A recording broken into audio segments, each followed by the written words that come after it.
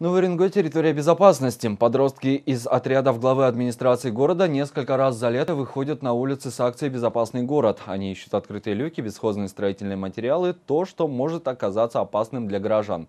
Все, что им по силам, убирают сами. Остальное попадает в объективы их фотоаппаратов. С подробностями Анна Долгушина. С одной стороны, игра, пропитанная духом соперничества и возможностью стать первыми среди сверстников, да и приз привлекательные билеты в кино. С другой – масштабное, серьезное и ответственное мероприятие. Найти, обезвредить и не допустить беды. Такие задачи ложатся на плечи подростков. Они решили сделать безопасным городские дворы и улицы. Акция проводится уже десятый год.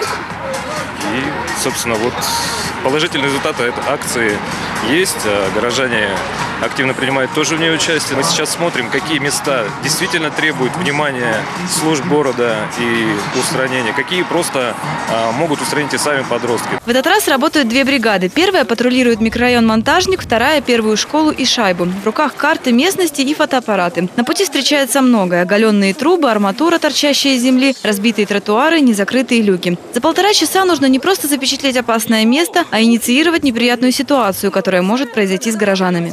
Да я не упаду. Просто его тяжело как бы нагнуться. Все норм.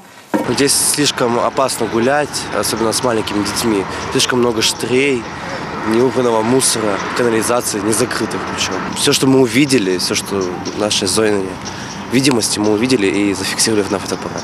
Теперь эти снимки будут размещены на городском форуме для того, чтобы предупредить травматизм и несчастные случаи. Конечно, это малая часть опасных мест, но активная молодежь не останавливается, ряды борцов за безопасность пополняются регулярно. Анна Долгушина, Марина Кошмак, Роман Чернов, служба новостей «Импульс».